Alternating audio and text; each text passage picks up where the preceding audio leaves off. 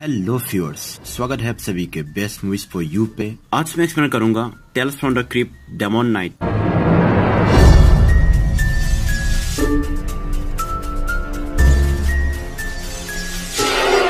ये एक American horror fantasy movie है, जो रिलीज़ हुआ था 1995 में।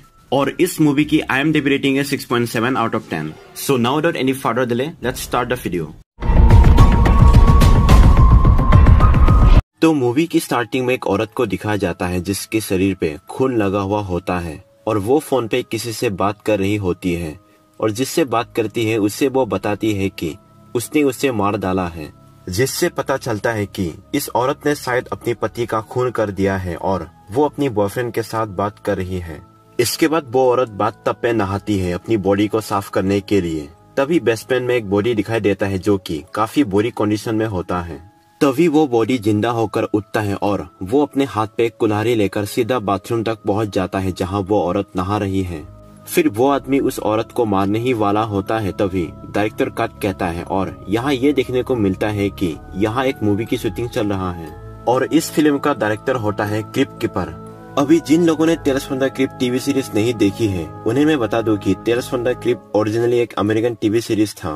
जिसके सात सीज़न थे, जो कि 1989 से लेकर 1996 तक टेलीविज़न में ब्रॉडकास्ट किया गया था।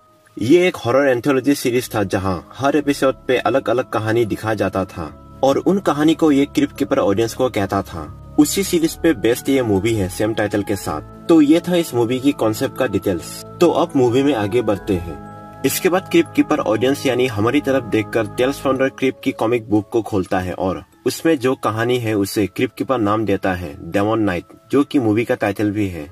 इसके बाद ये कहानी स्टार्ट होता है। ये कहानी स्टार्ट होता है न्यू मेक्सिको की एक हाईवे पे रात को, जहाँ फ्रैंक ब्रेकर नाम के एक आदमी को दिखा जाता है, जो कि कार से भाग रहा होता है, क्योंकि एक आदमी उसका पीछा कर रहा होता है। जब फ्रैंक देखता है कि वो आदमी उसका पीछा नहीं छोड़ रहा है तो वो अपनी कार सीधा सड़क के बीच रोककर उस आदमी की कार पे गोली चलाता है, जिससे उस आदमी की कार पे आग लग जाता है। पर फिर भी वो हँसते हुए बिना कार रोके आगे बढ़ता रहता है। इससे पहले वो फ्रैंक की कार को टक्कर मारता, फ्रैंक कार से निकल जाता है और फिर उस आदमी की कार सीधा फ्रैंक की कार से टकरा कर ब्लास्ट हो जाता है। इसके बाद फ्रैंक रोड के पास एक कैफ़े में जाता है, जहाँ वो एक कार चोरी करने की कोशिश करता है। तभी वहाँ एक छोटा लड़का आता है और वो फ्रैंक को देखकर अपने डैड को बुलाता है। फिर फ्रैंक वहाँ से भाग जाता है और वही पास में फ्रैंक को एक शराबी बुरा आदमी दिखाई देता है, जिसका नाम होता है विली। फ्रैंक विली को रात गुजारने के लिए जगह पूछता है। तो विली फ्रैंक को एक पुरानी चर्च में ले जाता है, जो कि अब एक बोर्डिंग हाउस है। जब फ्रैंक उस चर्च की तरफ़ जाता है, तभी फ्रैंक अपनी हाथ पे देखता है, जहाँ पे सात तारे बना हुआ होता है टेटू की तरह। तभी एक तारा उसके हाथ में चमकने लगता है। साथ ही वो तारा अपने जगह से हिलता है। इसके बारे में हमें आगे पता चलेगा। पहले तो उस बोर्डिंग हाउस का कंपाउंडर और इरिन फ्रैंक को रूम देने से मना करती है। ये कहकर कि वो किसी को शॉर्ट टाइम के लिए और किसी अजनबी को रूम नहीं देती है। पर फ्रैंक उसे एक्स्ट्रा केस देता है तो वो फ्रैंक को रूम दे देती है। फ्रैंक रजिस्टर पे अपना नाम स्मिथ लिखता है। क्यों? वो हमें आगे पता चलेगा। वहाँ एक प्रोस्टिट्यूट भी होती है, वहाँ आने वाले कस्टमर्स के लिए। उसका नाम होती है कॉर्डेलिया जिसे फ्रैंक बहुत अट्रैक्टिव लगती है। वहाँ के वर्कर जेरेलिन फ्रैंक को रूम दिखाती है और उसके लिए खाना भी बनाती है। फिर दूसरी तरफ़ उस रोड पे दिखाता है जहाँ फ्रैंक और उस आदमी का कार ब्लास्ट हुआ था। वहाँ दो शेरिफ आता है, जिनका नाम होता है शेरिफ तपर और डिप्यूटी बॉब तभी वो आदमी जो फ्रैंक का पीछा कर रहा था, वो अचानक वहाँ जलती हुई कार से निकलता है। ये देखकर दोनों शेरिफ हैरान होते हैं। फिर जब शेरिफ उस आदमी से पूछता है कि वो कौन है और वो बचा कैसे इस एक्सीडेंट से तो वो कहता है कि इन दोनों कार में से कार उसका था और एयरबैग्स ने उसका जान बचाया है और वो एक आदमी का पीछा कर रहा था जो उसका सामान चोरी करके भाग रहा था और अब उसे वो सामान वापस चाहिए। दोनों शेरिफ उसकी बात मान जाता है और फिर दोनों शेरिफ उस आदमी को अपनी कार में लेकर फ्रैंक को ढूँढने निकल पड़ता है। रस्ते में शेरिफ को कंट्रोल रूम से कॉल आता है एक चोरी की कंप्लेन का, जो कि उसी कैफ़े से होता है जहाँ से फ्रैंक ने कार चोरी करने की कोशिश किया था। फिर दोनों शेरिफ और वो आदमी उस कैफ़े में जाते हैं। सीन फिर से उस बोर्डिंग हाउस में दिखाया जाता है जहाँ एक आदमी आता है जिसका नाम होता है वेली जो की वही रहता है और वो एक पोस्टल क्लार्क था पर अब उसे नौकरी से निकाल दिया गया है क्योंकि उस पे छिथिया छुपा कर रखने का इल्ज़ाम लगता है। ये सब बातें वो कोडिला को कहता है, साथ ही वो कोडिला से मन ही मन प्यार भी करता है। इसके बाद फ्रैंक डिनर करता है तभी दरवाज़ा खोलने का आवाज़ आता है, जिसे सुनकर फ्रैंक थोड़ा टेंशन में आ जाता है। उसे लगता है कि शायद उसे पीछा करने वाला आदमी यहाँ पहुँच गया है। यहाँ एरन फ्रैंक को नोटिस करती है और उसे फ्रैंक सस्पिशियस लगती है। पर दरवाजे पे कोई और होता है ना कि वो आदमी, और इस आदमी का नाम होता है रोज, जो कि एक कुक है, और वो उसी कैफ़े पे काम करता है जहाँ से फ्रैंक ने कार चोरी करने की कोशिश किया था। रोज कोडिला की रेगुलर कस्टमर होता है। जब कोडिला उससे पूछती है कि आज उसे आने में देर क्यों हो गई तो वो बताता है कि किसी ने उनके कैफ़े के एम्प्लॉय की कार चोरी करने की कोशिश किया था तो शेरिफ ने उनसे पूछताछ की, जिसमें उसे आने में देर हो गई। इसके बाद कोडिला और रोस कमरे में जाते हैं मज़े करने के लिए। इससे एरिन की शक और ज़्यादा बढ़ जाता है और वो शेरिफ को कॉल कर देता है। इसके बाद दोनों शेरिफ और वो आदमी उस बोर्डिंग हाउस पे पहुँच जाता है और वो आदमी फ्रैंक को आइडेंटिफाई करता है। ये देखकर फ्रैंक चाकू उठाकर जेरिलिन की गले पे रख देता है, पर उस आदमी को पता था कि फ्रैंक ऐसा नहीं करेगा तो फ्रैंक जेरिलिन को छोड़ देता है। और फिर शेरिफ तब पर फ्रैंक को हैंडकफ कर देता है। फिर फ्रैंक की वालेट को चेक करता है। यहाँ एरिन को पता चलता है कि फ्रैंक ने झूठ कहा था कि उसका नाम स्मिथ है। इसके बाद वो आदमी सिर्फ़ तपर को कहता है कि उसे वो चीज़ चाहिए जो उसका है। वो कहता है कि वो चीज़ दिखने में किसी साबी की तरह है। पर फ्रैंक कहता है कि उसके पास कुछ नहीं है तो सिर्फ़ बॉब फ्रैंक के रूम में चेक करने जाता है पर उसे कुछ नहीं मिलता है। पर उसे रोज और कोडिला दूसरे कमरे में दिख जाता है और उन्हें नीचे आने को कहता है। इसके बाद जब सिर्फ़ तपर उस आदमी से पूछता है कि वो करता है क्या है तो वो बताता है कि वो कलेक्शन एजेंसी के लिए काम करता है और वो कीमती सामान कलेक्ट करता है। अब से इस आदमी को कलेक्टर कहकर बुलाएँगे। कलेक्टर की बातें सुनकर विली कहता है कि उसे पता है कि वो चीज़ कहाँ है और वो टेबल के नीचे से चाबी को निकालता है जहाँ फ्रैंक ने उसे छुपाया था। इसके बाद कलेक्टर अपने बॉक्स में विली को वो चाबी रखने को कहता है, पर उस चाबी के अंदर कुछ लाल रंग का लिक्विड होता है, जिसे कलेक्टर विली को निकाल कर फेंकने को कहता है। इसके बाद सिर्फ़ तपर कंट्रोल रूम में कॉल करके फ्रैंक का रिकॉर्ड चेक करने को कहता है, जहाँ उसे पता लगता है कि फ्रैंक का असली नाम फ्रैंक नहीं है, क्योंकि फ्रैंक ब्रेकर नाम का इंसान बहुत पहले ही मर चुका है और साथ में ये भी पता लगता है कि फ्रैंक और कलेक्टर दोनों की कारें चोरी की थी। तो सिर्फ़ तपर वो चाबी अपने पास रख लेता है और वो कलेक्टर को भी पुलिस स्टेशन आने को कहता है। इससे कलेक्टर को गुस्सा आ जाता है और वो सिर्फ़ तपर की मुँह पे एक पंच मारता है, जहाँ उसका हाथ तपर की सर से आर पार हो जाता है और फिर वो उसका सर उखाड़ देता है। ये देखकर वहाँ सभी लोग डर जाते हैं। फिर फ्रैंक बॉब से हैंडकफ का चाबी लेकर अपना हैंडकफ खोलता है और फिर सीधा तपर की बॉडी के पास जाकर वो चाबी ले लेता है। फिर कलेक्टर फ्रैंक को मारने ही वाला होता है तभी फ्रैंक वो चाबी कलेक्टर के चेहरे पे लगा देता है, जिससे वो चाबी लाल रंग में चमकने लगता है और कलेक्टर को काफ़ी दर्द होता है। फिर कलेक्टर खिड़की से बाहर निकल जाता है। इसके बाद कलेक्टर अपनी हाथ की नाखून से अपने हाथ पे कट लगाता है, जिससे खून निकलने लगता है, जो कि हरे रंग का होता है, जिससे ये पता चलता है कि कलेक्टर कोई इंसान नहीं है, फिर वो अपनी खून ज़मीन पे गिरा देता है। उसकी खून से कई सारे डेमोनिक क्रिसर्स बन जाते हैं और फिर वो सारे क्रिसर्स अंदर घुसकर सब पर हमला करने लगते हैं। फिर फ्रैंक टपर की बॉडी से उसका पिस्तौल और गोली लेता है और सीधा उन क्रेसर्स की आँखों पे मारता है, जिससे कुछ क्रेसर्स मर जाते हैं। इससे ये पता चलता है कि फ्रैंक पहले से ही जानता है इन क्रेसर्स के बारे में और ये भी कि उन्हें मारना कैसे है। इसके बाद रोज अपनी कार लेकर भागने का प्लान बनाता है और कोडिला भी उसके साथ जाती है, पर घर से बाहर निकलते ही उनपे एक क्रेसर हमला कर देता है। रोज वापस अंदर आ जाता है, पर कोडिला बाहर ही रह जाती है तो वेली बॉब से पिस्टल लेकर उसे बचाने की कोशिश करता है, पर वो उस क्रेशर को मार नहीं पाता तो फ्रैंक वेली को क्रेशर की आँखों पे मारने को कहता है और वेली ऐसा ही करता है और उस क्रेशर को मार गिराता है। इसी दौरान वेली भी घायल हो जाता है। यहाँ कोडिला को एहसास हो जाता है कि रोज उससे प्यार नहीं करता है, बल्कि वेली उससे प्यार करता है। इसके बाद फ्रैंक घर की सारे दरवाजे और खिड़की पे उस साबी से कुछ लाल लिक्विड का ड्रॉप गिरा देता है, जिससे सारे दरवाजे और खिड़की पे एक सुरक्षा कवच बन जाता है, जिसके अंदर वो कलेक्टर या वो क्रेसर्स नहीं आ पाते। इसके बाद सब लोग फ्रैंक को इन सब चीज़ों के बारे में पूछता है कि, क्या यह सब शैतान है? तो वो कहता है कि, उससे भी बुरा।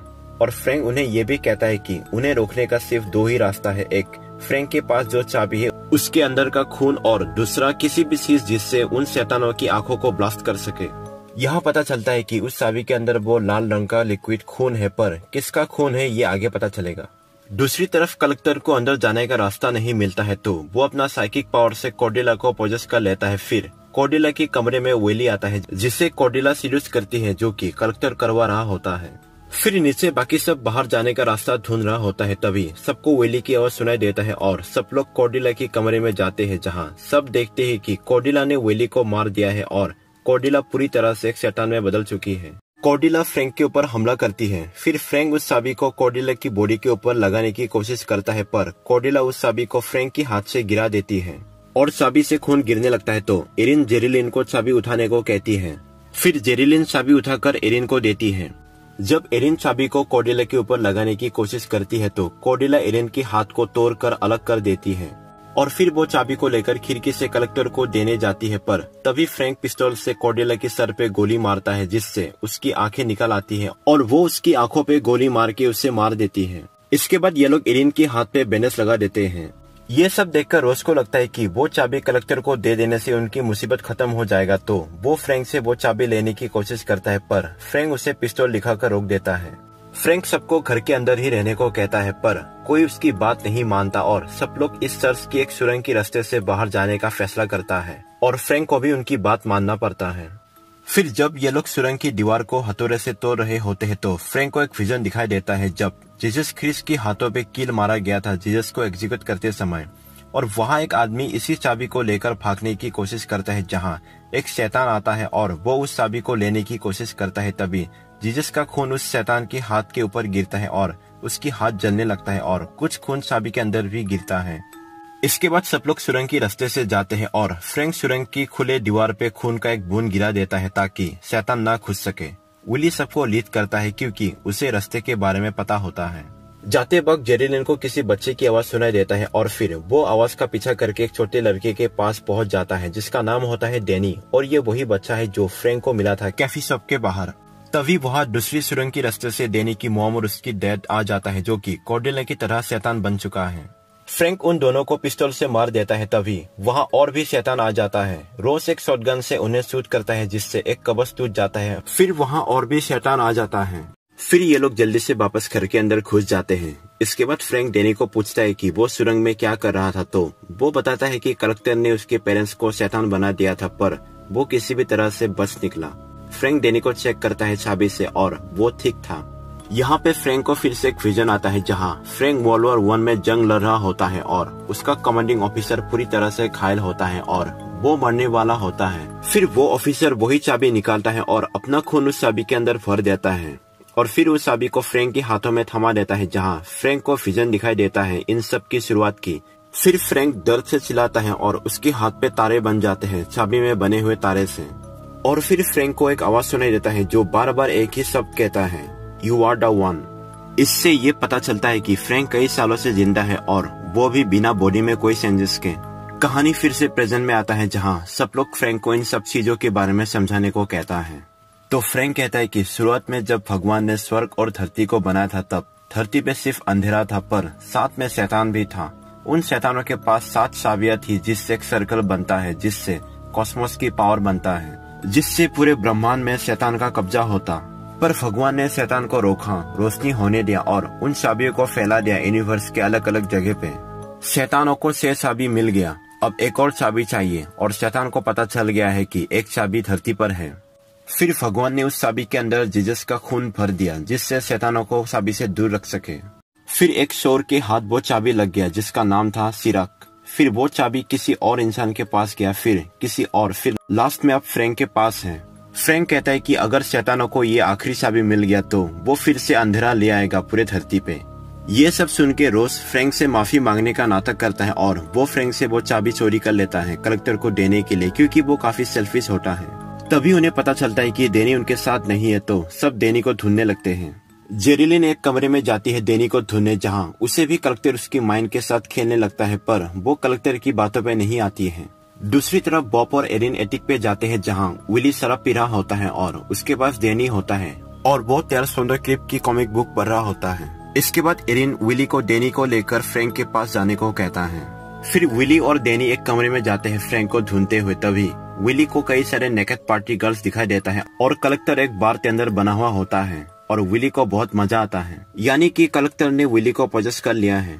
दूसरी तरफ़ एरिन और बॉब को एक बॉक्स मिलता है जहाँ कई सारे लेटर्स होते हैं। यहाँ तक कि एरिन और बॉब की भी, क्योंकि ये दोनों एक दूसरे से प्यार करते हैं और ये सब काम विली ने किया था। बॉक्स में उन्हें कुछ गन्स मिलता है, पर गोली नहीं होता है और साथ में कुछ हैंड ग्रेनेड्स भी। यानी कि पोस्ट ऑफ़िस वालों ने जो इल्ज़ाम लगाया था वेली के ऊपर, वो सब सच था। इससे ये पता चलता है कि वेली एक साइको था। फिर वहाँ कलेक्टर इरिन के पास भी जाता है। एक खाने का प्लेट में इरिन का कटा हुआ हाथ लेकर पर इरिन उसकी बहकावे में नहीं आती है। दूसरी तरफ़ फ्रैंक और जेरिलिन, डेनी और विली को ढूंढते हुए उस कमरे में पहुँच जाता है जहाँ विली, जो कि अब शैतान में बदल चुका है, वो फ्रैंक के ऊपर हमला कर देता है और फिर फ्रैंक का गला पकड़कर उसे उठा देता है। जेरिलिन मदद करने की कोशिश करती है, पर विली उसे मारकर गिरा देता है। फिर फ्रैंक को पीछे दीवार पे एक ब्लेड मिलता है, जिससे वो विली का सर उड़ा देता है, पर फिर भी वो ज़िंदा होता है और अब भी वो फ्रैंक के ऊपर हमला कर रहा होता है। तो फ्रैंक डेनी को विली की आँखों को उड़ाने को कहता है तो डेनी विली की सर को उठाकर दो नुकीली सीज पे उसकी आँखों को फोड़ देता है, जिससे विली मर जाता है। इसके बाद दूसरी तरफ़ रोज कलेक्टर के साथ डील करता है कि अगर वो चाबी उसे दे देगा तो उसे रोज को जाने देना होगा। कलेक्टर हाँ कहता है और फिर उसे रोज चाबी दे देता है। पर फिर कलेक्टर रोज को कहता है कि उसने झूठ कहा था और ये कहते ही सारा शैतानी क्रेशस आकर रोज को मार डालता है। रोज की सीखे सुनकर फ्रेंक को पता चल जाता है। फिर जब कलेक्टर ऊपर आ रहा होता है सबको मारने तो फ्रेंक एक तीर मारता है कलेक्टर की आँखों पे और वो नीचे गिर जाता है और फिर फ्रेंक कलेक्टर का बॉक्स जिसके अंदर चाबी है उसे उठा लेता है। पर बाकी सारे शैतान उन्हें मारने आते हैं तो इरिन अपने शरीर पे सारे ग्रेनेड्स पहन लेती है जो उसे मिली थी उस बॉक्स पे और फिर बॉब भी उसके साथ मरने को तैयार हो जाता है। फिर फ्रैंक, जेरिलिन और डेनी एटिक पे चढ़ जाते हैं और एरिन और बॉब उन क्रेशर्स के साथ ब्लास्ट में मर जाते हैं। फिर फ्रैंक चाबी से एक बूंद खून जेरिलिन के हाथ पे गिरा देता है, जहाँ जेरिलिन खून को पास की खिड़की में लगा देती है, जिससे वहाँ एक कबच बन जाता है। इसके बाद फ्रैंक जेरिलिन को वो चाबी देता है, ये कहकर कि अब इसे संभालने की बारी उसकी है, क्योंकि बाकी सात लोगों में से अब बस वो ही एक लौता ज़िंदा है। और चाबी पे भी सात तारे बने हुए हैं। फ्रैंक को पता होता है कि अब चाबी को संभालने की बारी उसकी है। उनके पास साइट में डेनी फिर से tales from the crypt comic book पढ़ रहा होता है और तभी उस कॉमिक बुक में एक शैतान की आँखें चमकता है और डेनी भी पॉजेस हो जाता है। फिर डेनी सीधा फ्रैंक की हाथ को पकड़ लेता है और अपनी हाथ से फ्रैंक की हाथ पे वार करता है और डेनी की एक लंबी जीप निकल आता है जिससे वो फ्रैंक की सीने में सेट करने लगता है। तभी उस कॉमिक बुक में दिखा जाता है जहाँ कॉमिक के अंदर भी यही सब हो रहा होता है। जेरिलिन किसी भी तरह से देनी को खिड़की से गिरा देती है, जहाँ देनी ब्लास्ट हो जाता है, उस सुरक्षा कवच में लगकर। इसके बाद फ्रैंक अपने सीने से बहता खून उस साबिक के अंदर भर देता है और जेरिलिन की हाथ में थमा देता है, जहाँ उसे भी फिजन आती है और उसकी भी हाथ पे वो सात तारे बन जाता है, जो कि एक साथ इकट्ठा होता है। और फ्रैंक कहता है कि जब सारे तारे एक साथ जुड़ जाएगा, एक सर्कल की तरह तो उसे पता चल जाएगा कि क्या करना है। और जब जेरिलिन का भी अंत आएगा तो वो भी वही करेगा जो फ्रैंक ने किया है। ये कहकर फ्रैंक मर जाता है। इसके बाद कलेक्टर वहाँ पहुँच जाता है, जहाँ जेरिलिन की पूरी शरीर में खून लगा हुआ होता है। फिर वो उससे चाबी लेने की कोशिश करता है, पर उसकी हाथ जलता है, क्योंकि जेरिलिन ने अपनी बॉडी पे फ्रैंक का खून लगा हुआ होता है। पर कलेक्टर चालाक था तो वो एक बड़ा सा प्लास्टिक से जेरिलिन को लपेट लेता है और फिर उसे बथ टब पे ले जाकर पानी से उसे धो देता है और चाबी से सारा खून भी गिरा देता है, पर जेरिलिन चालाकी से चाबी से कुछ खून अपनी मुँह में ले लेती है। फिर कलेक्टर जेरेलिन को मारने ही वाला होता है तभी। जेरेलिन उसके चेहरे पे अपनी मुँह में लिया खून थूक देती है, जिससे कलेक्टर का पूरा शरीर जल जाता है और वो वही ब्लास्ट हो जाता है। इसके बाद जेरेलिन फिर से चाबी को फ्रैंक की खून से भर देती है और फिर वो बस पकड़कर इस जगह से चली जाती है, पर बस के दरवाजे पे वो खून की एक बूंद गिरा देती है। फिर बस एक जगह रुकता है जहाँ एक आदमी बस का वेट कर रहा होता है। उस कलेक्टर की तरह सेम कपड़े पहने हुए हाथ में एक ब्रीफ केस के साथ। पर वो बस पे नहीं चढ़ता, ये कहकर कि वो दूसरा बस पकड़ लेगा। ऐसा क्यों? आप लोग जानते हैं, यानी कि अब ये है नया कलेक्टर जिसे शैतान ने भेजा है। और ये मूवी यही एंड हो जाता है। अब जल्दी से बात करते हैं कहानी की क्लेरिफिकेशन की। जो चाबी फ्रैंक के पास था, वो आखिरी चाबी है जो शैतानों के हाथ नहीं लगा है, क्योंकि पूरी यूनिवर्स पे कंट्रोल पाने के लिए शैतानों को सात चाबी लगेगा, जिससे एक सर्कल बनेगा, और तब शैतानों के पास पूरे ब्रह्मांड को कब्जा करने की ताकत हासिल होगी, और फिर शैतान दोबारा से धरती पे अंधेरा ले आएगा। और जब भी कोई चाबी को किसी दूसरे को देता है तो पहले वाला चाबी का रक्षक उसमें अपना खून भर देता है, ताकि जीजस की चमत्कारी खून के साथ मिलकर जीजस का खून भरा रहे। और जब भी चाबी की रखवाले का अंत पास आता है तो हाथ में बने तारे एक साथ जुड़ने लगते हैं। इसीलिए फ्रैंक को पता चल गया था कि अगला रखवाला जेरिलिन है, क्योंकि फ्रैंक के हाथ में बना हुआ तारा जुड़ने लगा था जब वो बोर्डिंग हाउस में रहने आया था। और कलेक्टर ने सबको पॉजेस उनकी पसंदीदा चीज़ से ललसा कर की, जैसे तेनी को कॉमिक बुक से, क्योंकि उसे कॉमिक बुक पढ़ना काफ़ी ज़्यादा पसंद था। विली को शराब और पार्टी से, क्योंकि वो हर वक्त शराब पीता रहता था और कॉर्डिला को उसकी खूबसूरती से, क्योंकि उसे उसकी खूबसूरती से प्यार था। बाकी ज़्यादा कुछ इतना कंफ्यूजिंग नहीं है इस मूवी की कहानी में। तो ये था tales from the crypt demon knight movie का एक्सप्लेनेशन उम्मीद करता हूँ कि आपको पसंद आया होगा। तो मिलते हैं अगली वीडियो में। अगर आपको ये वीडियो पसंद आया है तो इस वीडियो को लाइक शेयर और चैनल को सब्सक्राइब कीजिए ताकि आपको आगे भी ऐसे ही इंटरेस्टिंग मूवीज़ की एक्सप्लेनेशन मिलती रहे।